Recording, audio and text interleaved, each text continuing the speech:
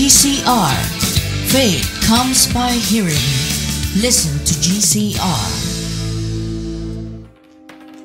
Genesis Christian Radio TV.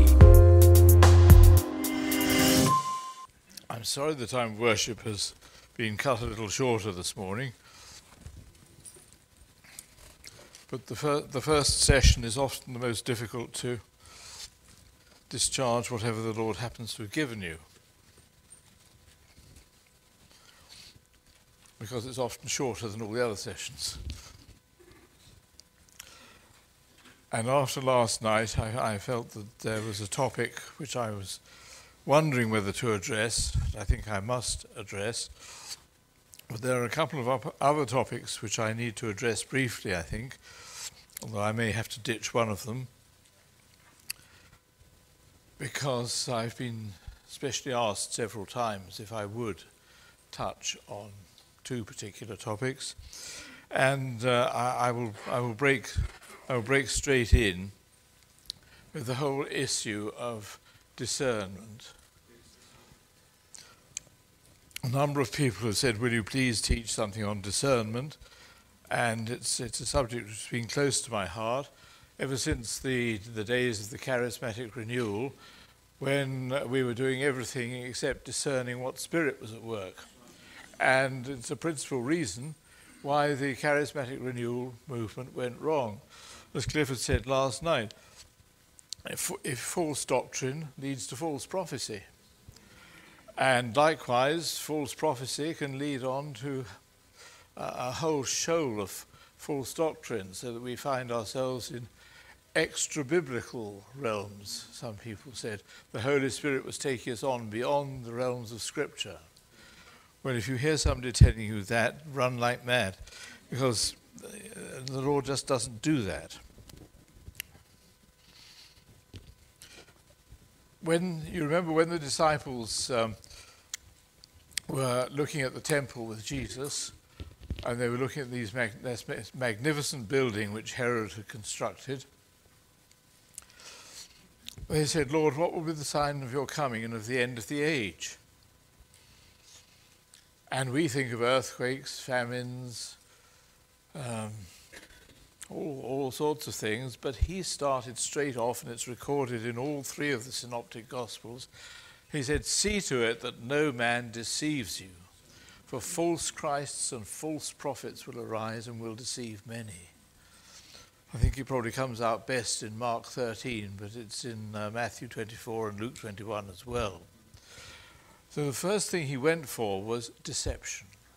And it's the devil's best work. The father of lies is extremely good at deception, as you would expect. And if he deceives us, he doesn't actually need to do any more. He doesn't even need to bother about persecution. If he's got a church deceived or a person deceived, that's fine. He can leave them just as they are. Absolutely deceived. If they're, if they're believing lies, he's got them where he wants them. And during the period of the renewal movement, we had a lot of focus, uh, inevitably, and there was much excitement on the um, activities of the Holy Spirit, which we find particularly in 1 Corinthians 12. Uh, 1 Corinthians 12 was all very exciting, and uh, it started to be said that there were nine gifts of the Spirit. And I, I even heard one young woman on one occasion saying, My pastor's got all nine gifts of the Spirit. She didn't actually say he pops them in his back pocket on Sunday morning and brings them to church with him, but it was like that. You know, he comes along all equipped with all nine gifts, uh, ready, ready to produce them at will that gives a totally false impression of what Paul is trying to say. Um, a lot of people have thought that 1 Corinthians 12 through 14 is all about the gifts of the Spirit. Paul doesn't even start by mentioning gifts. He starts off by, with, with using the word pneumatica. Now, concerning spiritual things, pneumatica is not gifts, it is spiritual matters or, some, or you can translate it from the Greek just, just concerning spirituals, brethren. He's going to talk about things of the Spirit.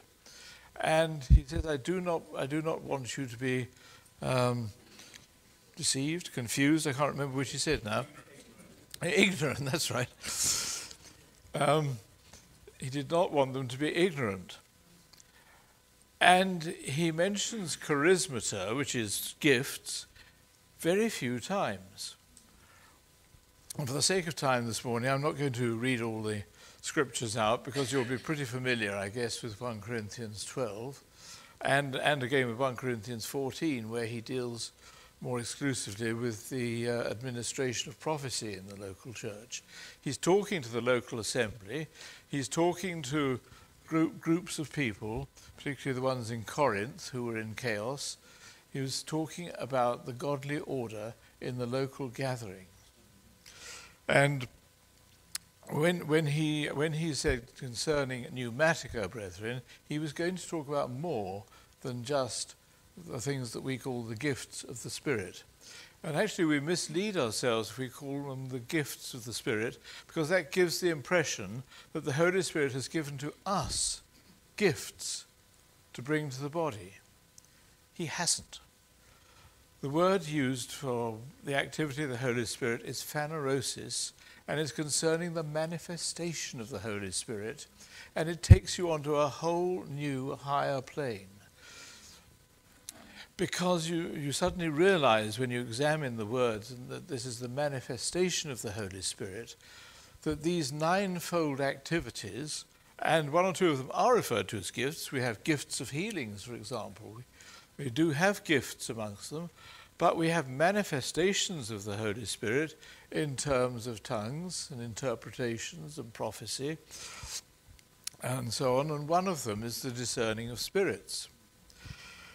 And uh, when you realize this is manifestation of the Holy Spirit, it suddenly dawns on you, it suddenly dawned on me with a, with a sense, um, well, almost, almost of shock that I had not realized this before.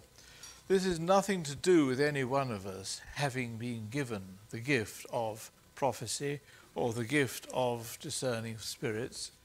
It's the Holy Spirit. It's God Himself manifesting Himself in the midst of His people, which takes us onto a, a, a, higher plane altogether. It's not, it's not just us being used by the Holy Spirit, it's the Holy Spirit Himself in person there choosing to speak or act as He will through individual members of the body. So, once again, the emphasis is completely off man and it's onto God. It's God who's doing it, if it's genuine. And we, we need to know if it, if it is genuine. Now, the, uh, when, it, when it comes to the matter of uh, discernment, the word actually used, the Greek word is diakrino, and it means the distinguishing between.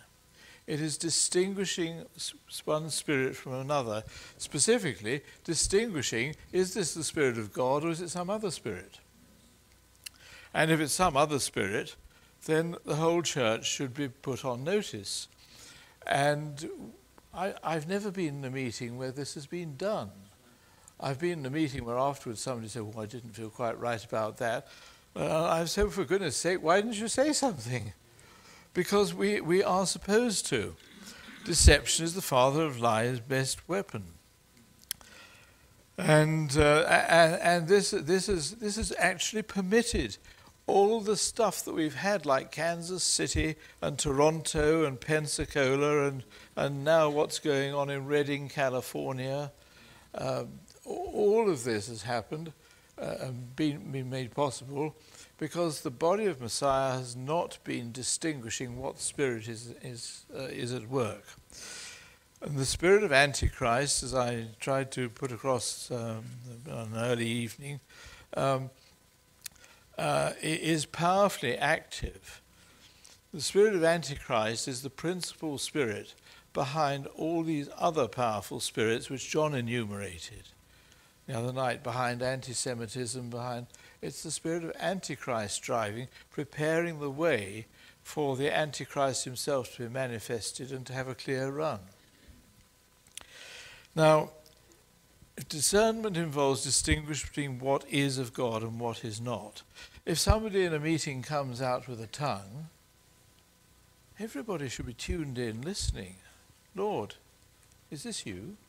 Is this your spirit? Because it might not be. Normally, we say this, this is wonderful, and if there isn't an interpretation, which scripturally there, there absolutely should be, we pass on to the next song. We've done it for years. Um, doesn't happen quite so much now because I think the Holy Spirit has withdrawn in disgust. I think he's been grieved and quenched so much, and he's not willing to make way for uh, for other spirits to manifest and um, deceive the body. But we're told in 1 Corinthians 5, verses 19 to 22, says, Despise not prophesying, says, but test all things, hold fast to that which is good, have nothing to do with any kind of evil. And all of this is in the context of what's going on in the public assembly. It's for the protection of the body. And we are to test all things. And uh, I can remember very few times when anybody has been has stopped a meeting in a gathering of the saints has stopped and said, "Wait a minute, we've got to stop there. We need to test this. We need to pray. We need to ask the Lord: Is this right? Is this true?" It just hasn't happened because leaders have looked rather perplexed. They've stood on the platform saying, "What should we do?" to each other? And they said, uh, "Song, we'll sing the next song," and, and, and on we go and the whole thing, and yet it's been said, and it's been heard, and it's been received into people's spirits, and they've probably believed it. So, how are we to test? Well, first, the first question is Does whatever the activity or uh, does it line up with the truth of the Word of God? If it doesn't line up with the truth of the Word of God, then forget it. You can throw it out straight away. That's easy. Um, you, you know, probably know, for example, how um, banknote clerks are, are trained to discern genuine banknotes from false ones. They aren't given hosts and hosts of different false banknotes to examine and say, now, an Argentinian false one looks like this and a Greek false one looks like that. They're given the genuine article and told to become so familiar with it that as soon as they get a dud one in their hands, they will be immediately to say something funny about this. Not sure what it is. Find out. This this doesn't seem doesn't look right. Doesn't feel right. They're taught by being so familiar with the genuine. And th- this is another reason why the, the church, I think, has been able to fall into such error. We have been so unfamiliar with the Word of God the Word of God just hasn't been taught in most places. Uh, I mean, so, sometimes, well, I could, no, I can't, I haven't got time to tell you certain stories, but I, I can tell you some horror stories of groups of young people that I've taught. I say young, I mean probably 20s, early 30s. And, uh, and, and I have discovered that they know virtually nothing of the Old Testament writings, nothing of the Hebrew prophets, and uh, you try taking them into the epistles. They wanted me to talk about the comparison of the Tower of Babel with the present day EU. And I wanted to start off in Matthew 7, uh, or Matthew 2, actually, in Matthew 7. They'd never been taught the book of Daniel. And we tried other things. Um, nothing, in, nothing in the Old Testament uh, was, meant anything to them because they hadn't been taught it. So I said, well, let's, get, let's go to 2 Thessalonians 2, if you're, if you're New Testament believers. Um, we'll, we'll start off with the man of lawlessness. No, no, no, we haven't done any of the epistles. And I found that they'd been, it'd been the Gospels and the Psalms, and that was it. I said, I suppose it's no good looking at Revelation and the, the beast out of the sea. A bit of it. No, we've been warned off Revelation. And we had to start in Matthew 24 and then work forwards and then work backwards. And it took three sessions instead of one. And if you don't know the word, you, you're at a great disadvantage in distinguishing the true from the false. Now, second, second line of defense you find in 1 John 2, and I do want to read this to you, because it is the witness of your own spirit within you. And if you're a believer and you've been, been baptized in the Holy Spirit, Just what happened to me in that train when I didn't know what was happening. And the Lord, Lord doesn't always need to tell you what's happening, does He? He just does it. Says, I think I'll, I think I'll do this, and He leaves. Um, I'm sorry. One, one John, one John two, yeah. In one John two.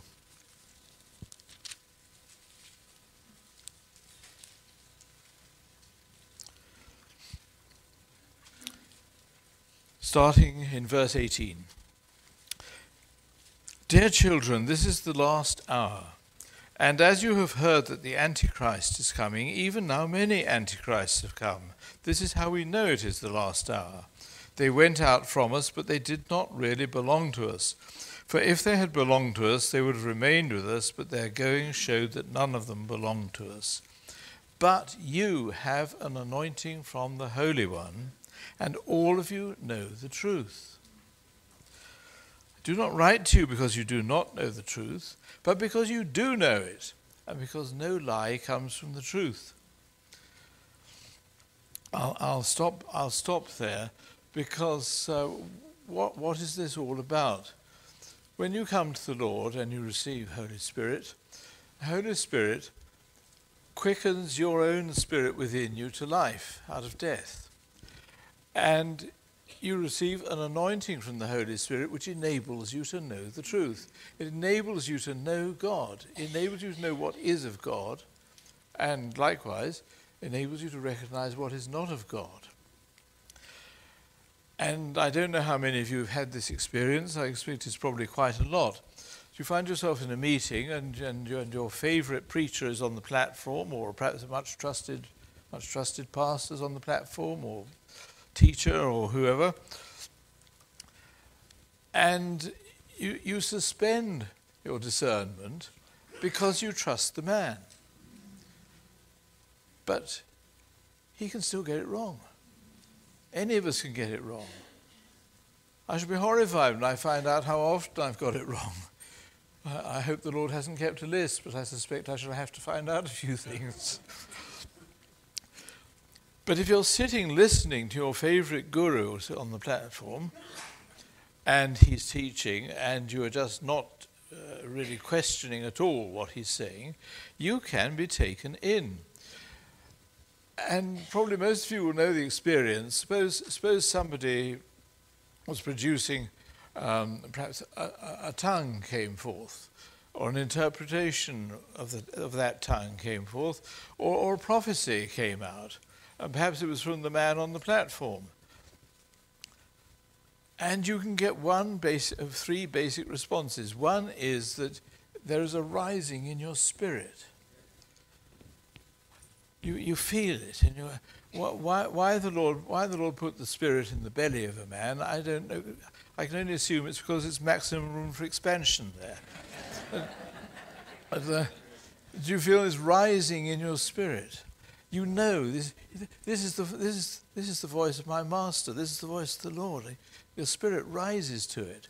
Another, or you can get uh, a feeling of almost woodenness. Hmm, I don't know, it sounds, yeah, sounds all right, doesn't seem to ring any bells in me. I, I just feel a bit dead about it. In that case, the most likely thing is it's the man's flesh operating and churning something out, which is not necessarily desperately wrong, but it's not from God. So the body shouldn't receive it as being from God. Or sometimes you, you get sort of goosebumps or chills up and down your spine or whatever sort of manifestation you get, and you think, oh, there's something wrong here. But because it's my favorite man on the platform, I must be wrong and not him. That is, that is, the, that is the first line of testing after the, if, if it passes the test of the Word of God. At that point, that's the time to ask the Holy Spirit, who distinguishes between spirits, Lord, please show us what is going on here. Because, Lord, I feel there's something wrong. Please show us what manner of spirit there is.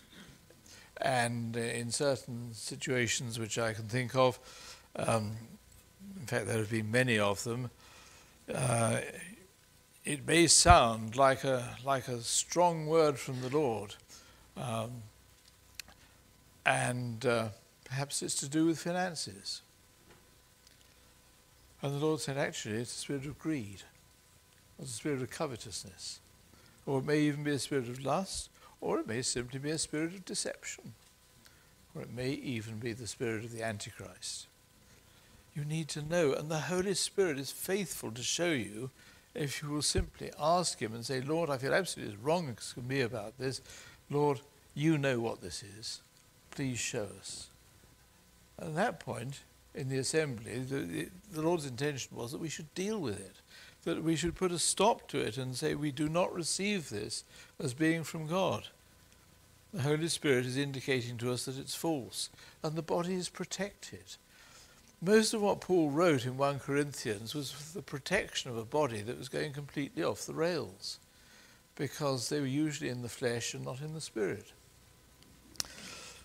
Now, I, I, could, I could say a lot more um, about that, but I, I hope that's a, a, basic, just a basic outline of, of basic testing. We need to distinguish between the spirits and the same in our own lives.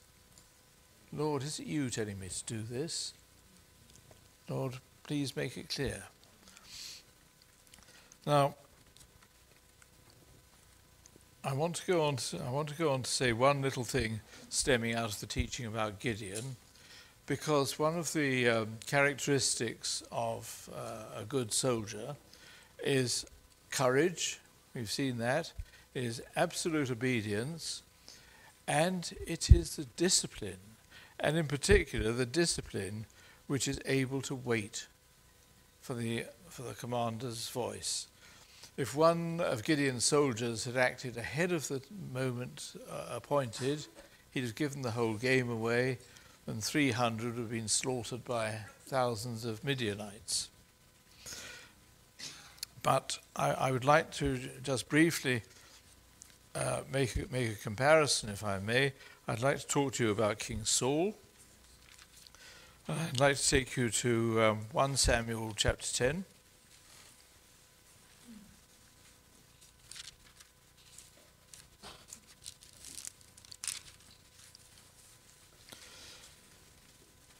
Now, you remember, and somebody said this earlier in the week, God didn't want the Israelites to have a king apart from him. But he said to Samuel, They want a king, give them a king.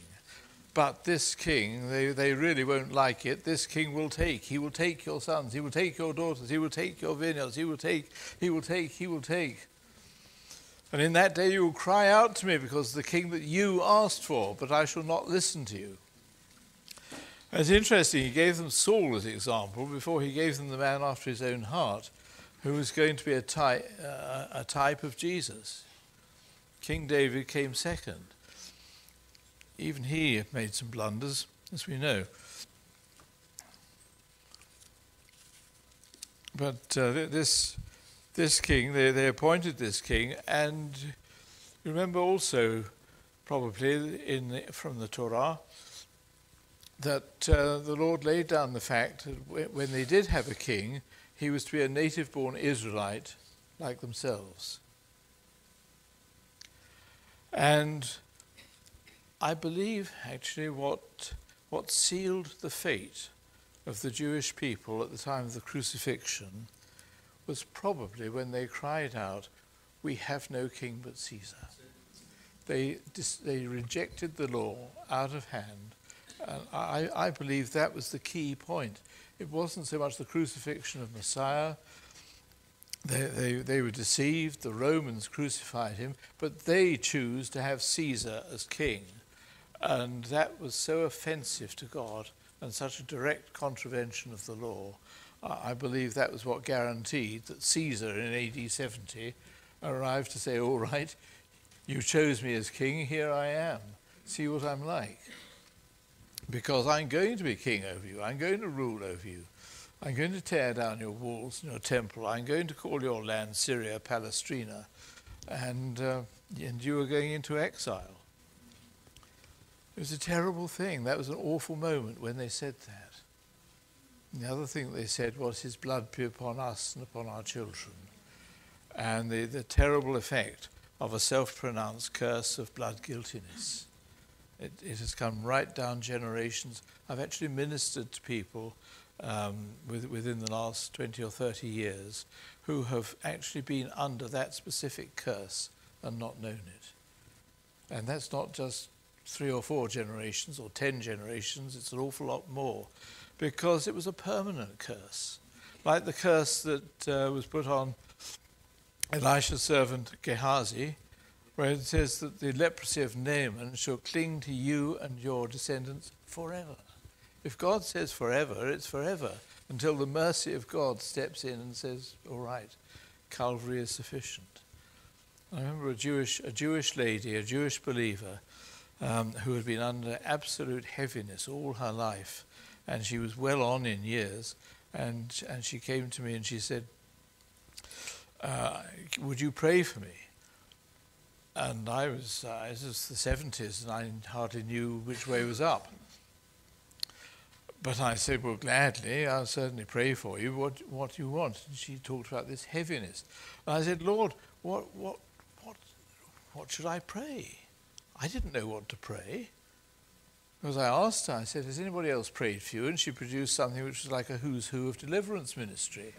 I mean, every, everybody except Jesus personally had prayed for her.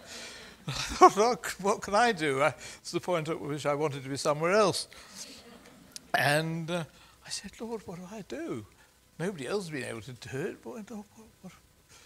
And straight in my mind came the scripture from Matthew 27 His blood be upon us and upon our children. And I didn't even know enough to, to specify that as being a, a curse of blood guiltiness. I said, Lord, what do I do with this? And the Lord said, You just lay hands on her and ask me to deal with the effect of this scripture in her life. So I did just that. I laid hands on her and I quoted the scripture to the Lord and I said, Lord, please lift the effects of this scripture off this lady's life. And the results were quite astonishing. She straightened up, the darkness lifted off her. Um, all of a sudden, instead of being stooped and bowed under heaviness, she was standing there saying, It's gone, it's gone, it's gone. I was sort of looking around to find out where my jaw was because it had fallen on the floor. and I, w- I went home and started doing some research and learning something about generational curses. And thank God that I did because it was going to stand me in good stead. Now, here's, here's, um, yeah, here's, here's dear old, here's dear old Saul. Now, I've got to cut this fairly short. When, when, uh, when Samuel anointed Saul in 1 Samuel 10 as, as king, he said, The Spirit of the Lord will come upon you in power, and you'll be changed into a different person. Verse 6. Go, verse 8, he gave him a command. Immediately Saul was put to the test. One simple command Go down ahead of me to Gilgal. I will surely come down to you to sacrifice burnt offerings and fellowship offerings, but you must wait seven days until I come to you and tell you what you are to do. The first scripture I was ever given um, was Isaiah 28:16. It's out of the King James Version. It says, He that believeth shall not make haste. Because I was a young man and I wanted to make haste and it would have been a mistake. So if you turn over into chapter 13, remembering this command to go to Gilgal and wait for Samuel to turn up, you find there's trouble at Gilgal because the Philistines are assembling to attack. And it says in verse 5 of 1 Samuel 13 the Philistines assembled to fight Israel with 3,000 chariots, 6,000 charioteers, and soldiers as numerous as the sand on the seashore. When the men of critical uh, Israel, verse 6, saw the situation as critical and their army was hard pressed, they hid. Some Hebrews even crossed the Jordan to the land of Gad and Gilead. Saul remained at Gilgal, and the troops with him were quaking with fear. Uh, he waited seven days. Mean, the Hebrews, he waited into the seventh day. He was in the seventh day. He wasn't yet in the eighth day. He was in the seventh day. And he got to the seventh day, the time set by Samuel, and the postman hadn't arrived. Says, But Samuel did not come to Gilgal, and Saul's men began to scatter. So what did Saul do? He pressed the panic button. The flesh press, presses the panic button. The spirit says, God has given me a command. I will obey and see what he will do. But Saul pressed the panic button, and so he said, Bring me the burnt offering and the fellowship offerings. And Saul offered up the burnt offering. Just as he finished making the offering, Samuel arrived. Isn't that always the way? When you've just done it, you suddenly find the suddenly find you're aware of the presence of God, saying, "What's going on around here? What, what have you just done?" Say, "Oh, um, uh, well, um, yes, quite." And uh, Samuel had no pity on him at all. And Saul saw, him. What have you done? asked Samuel. Saul replied, I saw the men were scattering, you did not come at the set time, the Philistines were assembling at Michmash. I thought. The thoughts of men are useless, especially in a crisis. If he'd prayed, the Lord might have said, Wait. But he didn't. He thought, Now the Philistines will come down against me at Gilgal, and I have not sought the Lord's favor, so I felt compelled to offer the burnt offering. He had no business to offer any sort of offering. Saul was a Benjaminite. It was only the Levites. Samuel was a Levite. Samuel was the only one there who had the right to offer a burnt offering. And Saul actually disobeyed twice over. He didn't wait and he offered the burnt offering when it was completely out of order under the law that he should have done so. And Samuel just had no, no, no sympathy for him. You, you acted foolishly, Samuel said. You've not kept the command the Lord your God gave you. If you had, he would have established your kingdom over Israel for all time. But now your kingdom will not endure. The Lord has sought out a man after his own heart and appointed him leader of his people because you have not kept the Lord's command all a result of being unable to wait. And that was the only command he was given. He said, Go to Gilgal and wait until I arrive. We have to wait, otherwise we shall blow it. And God usually makes us wait far longer than we think is, is right. He waits until we feel that the situation is so critical that we must act. And God says, No, I told you to wait. Well, Lord, we've got to act. The Lord says, You act. You, you, you'll wish you hadn't. Uh, we've probably all done it. I know I've done it. You act, and then you say, "Oh, if I had waited, it would have turned out much better." I can't, I can't uh, say all that I would like to about that, contrasted, but I would just like to uh, draw your attention to two comparisons. One is in 2 Samuel 5, where King David is up against the uh, Philistines in the usual way, and God gave him two separate strategies for fighting a, an identical battle. The Philistines came against him exactly the same way twice over, and the second time, David did not assume that he was going to win the battle the, the way he had the first time. Second time, the Lord said, Strategy. Circle round behind them, and when you hear the wind in the mulberry trees, then fall upon them. And the prime example of waiting, what I believe comes in John chapter 11. It says, So when Jesus heard how sick Lazarus was, he stayed right where he was for three days. I think that must be one of the most difficult tests of his whole ministry. Because he said, they said, Lord, he who you love is sick. And he just stayed where he was. And then he said, Well, let's, let's go to him. And he did it so that the God would be glorified. It was a messianic miracle, of course, but he did it so that the Father would be glorified because he did only what he saw the Father doing. I want to, I want to turn to the, the, the third topic which uh, Lord laid on my heart, which I wasn't necessarily going to try and tackle this morning, but I felt after last night I should. Because to carry us through the times ahead, we need to have the motivation that God gives. Nothing, nothing else will do. And uh, we've seen it already in Exodus 32. We've seen that Moses was concerned for the glory, the reputation of God. And he pleaded with God. Just imagine if he'd said, Yippee, that's fine, Lord, just do what you said. I think the Lord would have been bound to do what he said because God always does what he says. He must have known his man extremely well to know Moses will react in this way.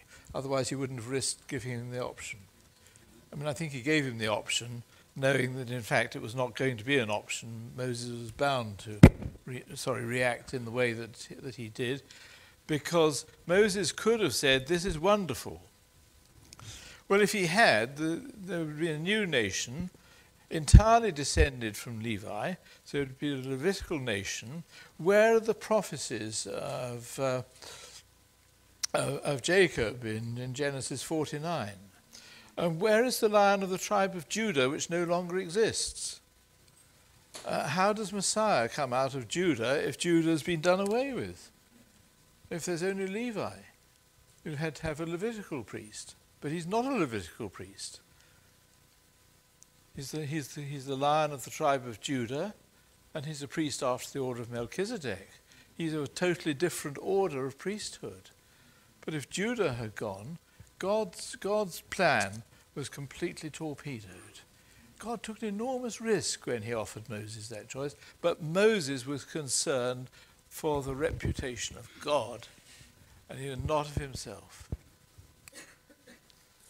It would have been so easy to say, oh, Lord, wonderful, just get rid of this awful lot of people. They always want to stone me anyway. Well, they did. He had to go to God more than once and say, Lord, they want to put me to death. But he said, Lord, your great name, your great name. This was his motivation, your great name.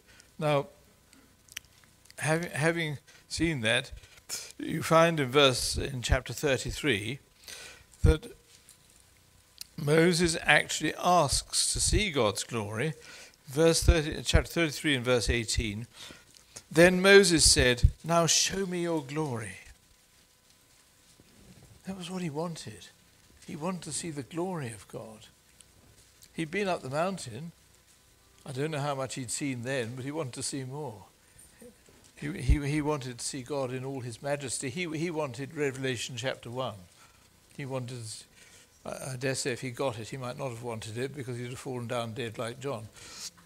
The Lord would have had to raise him up again. But he wanted to see as much of God as he possibly could. So the Lord said, I'll, I'll do all I can for you.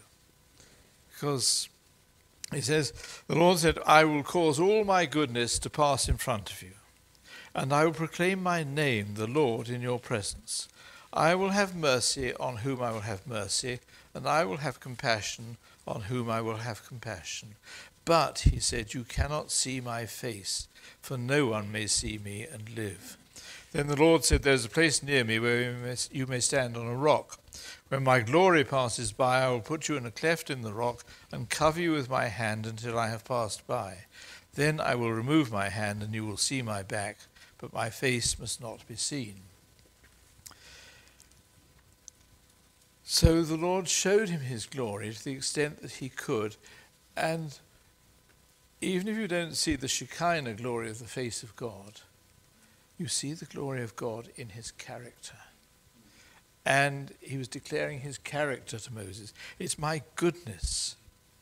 It's my great name. It's everything that my name stands for. It's everything that's in God's name is, that, is God's character um, Psalm 138 Thou hast exalted above all things thy name and thy word.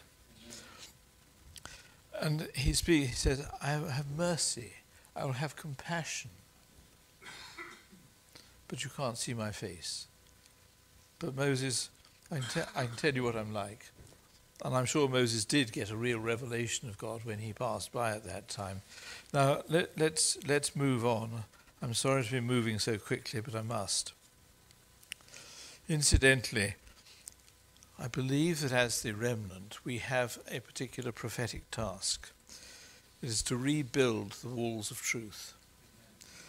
Ezekiel 13, it says in verse 3 the sovereign Lord says, Woe to the foolish prophets who follow their own spirit and have seen nothing. Well, Clifford has been telling you all about the Kansas City prophets. They've been following their own spirit, or in fact, probably a spirit of divination and a few other things as well. But then he says, Your prophets, O Israel, are like jackals among ruins. Well, the jackals just run about over the ruins, don't they? You have not gone up to the breaks in the wall to repair it for the house of Israel, so that it will stand firm in the battle on the day of the Lord. Their visions are false, their divinations are lie. They say the Lord declares when the Lord has not sent them, yet they expect their words to be fulfilled. And he's asking us, he's asking for a body of people who will be the opposite. He's asking a body of people who will go up to the breaks in the wall there are breaks in the wall everywhere where truth has been torn down wholesale within the body. He's asking us to, to be a prophetic people in the sense of standing in the, in the gap of these broken down walls and declaring the truth where the lies have been substituted for them. And we need to know our scriptures well enough to be able to say, that's not the truth of God. God says this. And we will be rebuilding the walls for the church and probably for Israel as well, ultimately, so that, the, so that we can stand firm in, in the day when God is really acting, in the day of God's anger. We can stand firm when God brings judgment.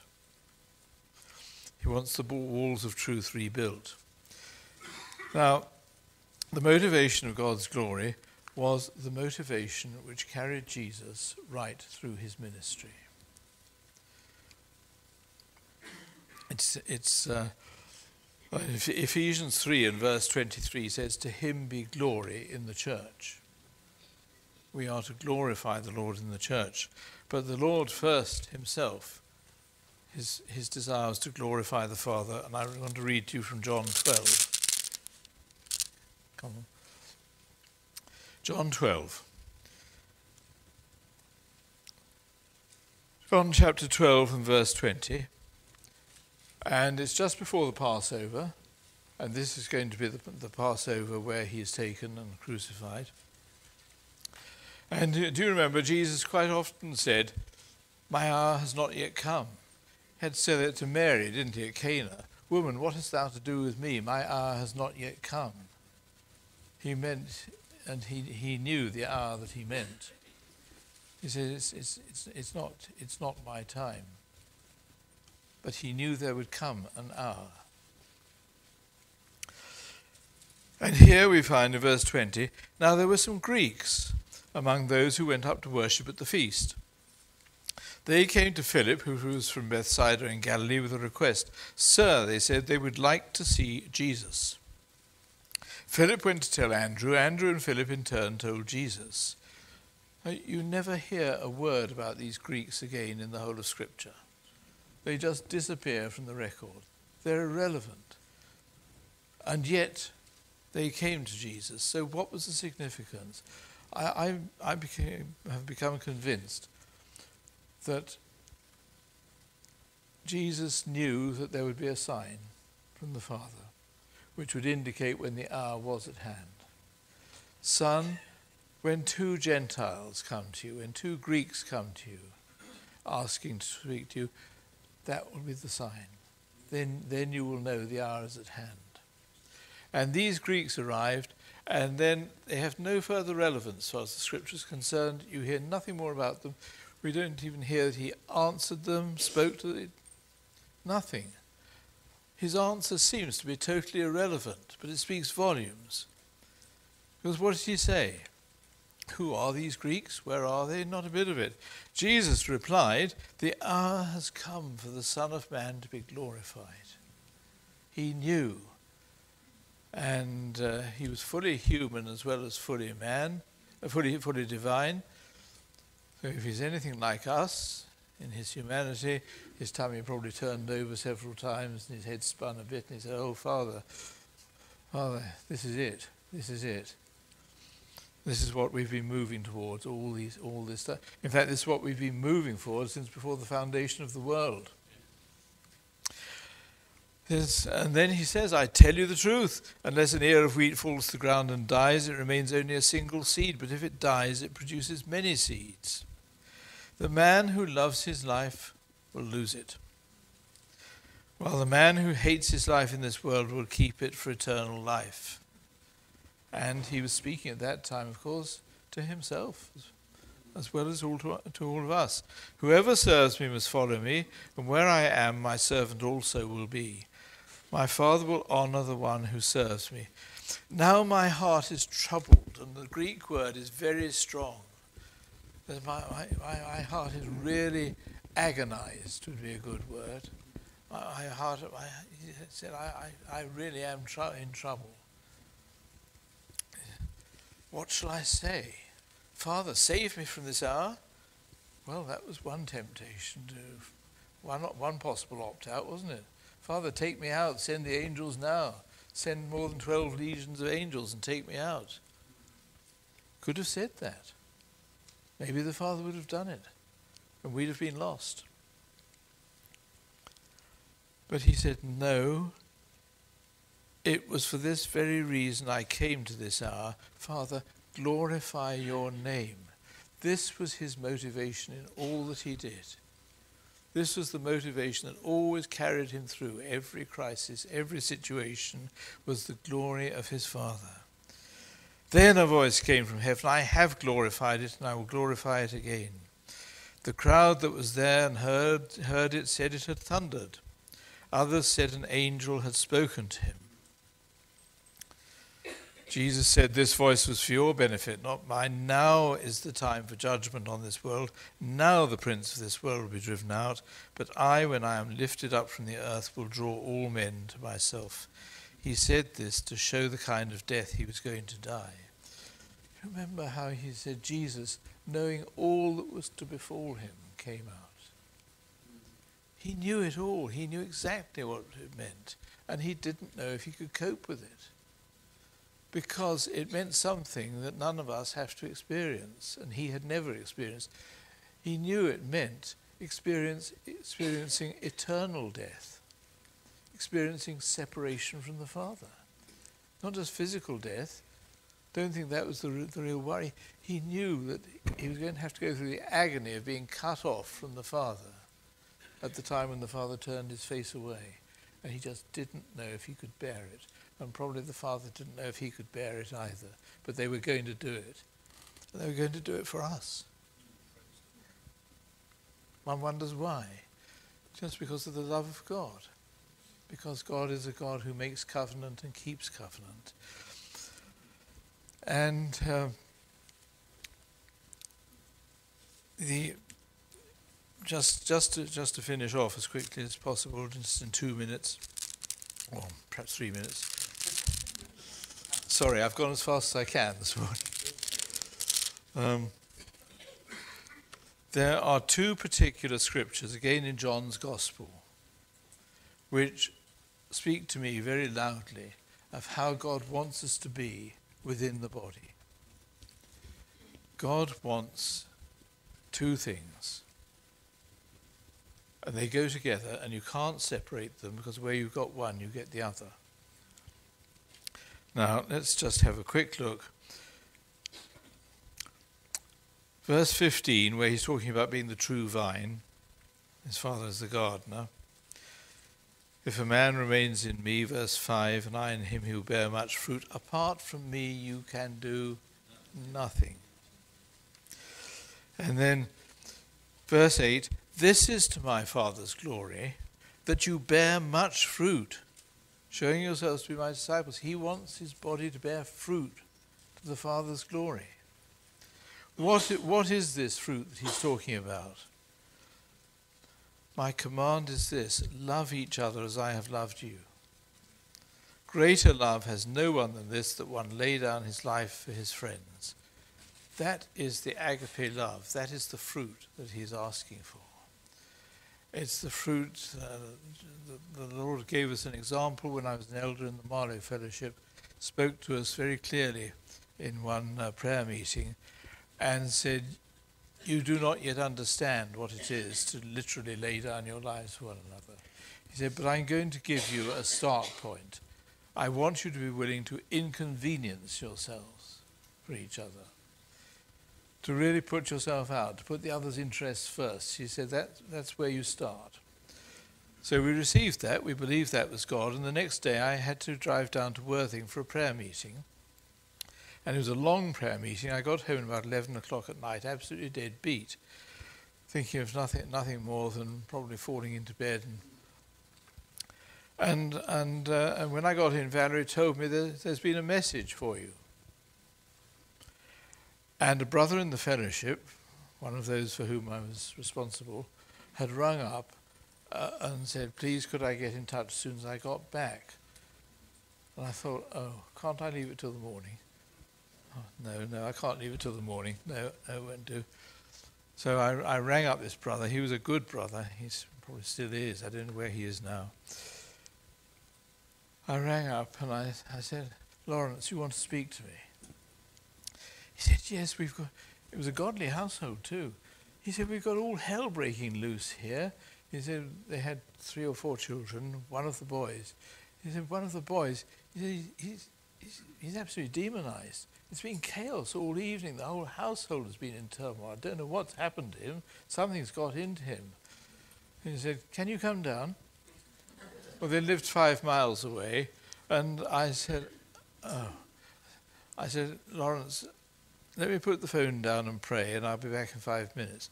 I hadn't got the phone onto the hook before I heard a voice say, Inconvenience yourself. And I didn't get the phone back on the hook. I picked it back up again said, I'm coming. and I drove five miles to his home. I felt absolutely dreadful. I thought, Lord, I can't do a darn thing. Lord, I've had it. Uh, today's over as far as I'm concerned. I got to the house and it was it was chaos. The boy thought it was. I don't know what he'd been doing. I think Ouija boards came into it, but um, and this boy was normally fine. But he was all over the place, and the household was in turmoil. And um, it wasn't an easy deliverance either. I left the house, I think, about half past two or three in the morning. The boy was free, the household was at peace. To my amazement, I drove back home. I felt fresh as a daisy. I was ready for anything. I thought, well, I'll go off. But that was a simple test. I thought I'm hoist with my own petard because I had had the word which said inconvenience yourselves the previous evening in the prayer meeting. And then the Lord put it to me the very, the very next day. Now, John 17 goes absolutely hand in hand with this agape love. I don't know why these pages are sticking together, but And Jesus, of course, this is the great high priestly prayer before he, go, before he goes to the Father.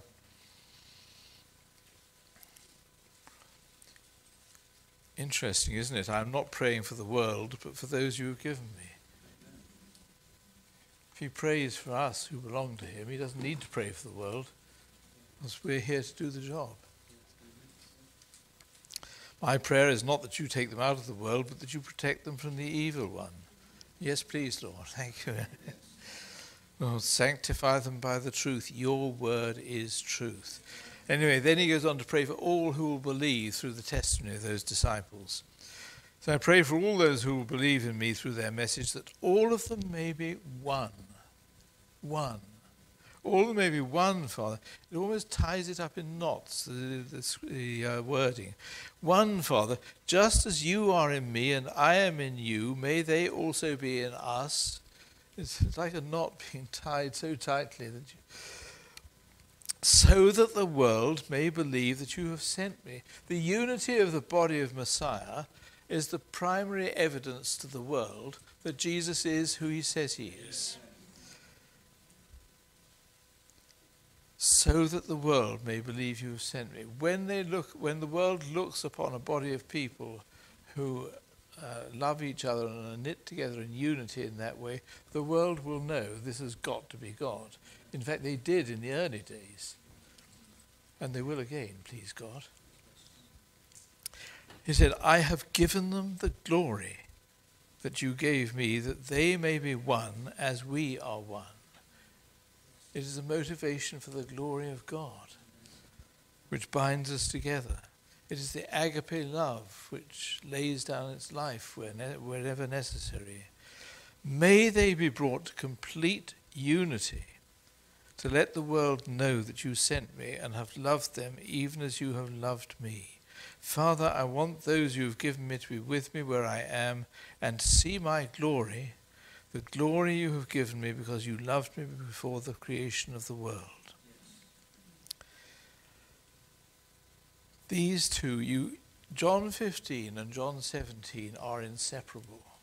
Where you've got the one, you get the other. If you haven't got the one, you can't possibly get the other. You can't get the unity without the agape love. And you can't find the agape love if there isn't unity.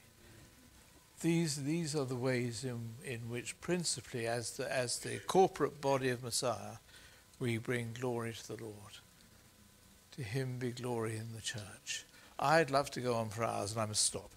God bless you, and thank you for listening.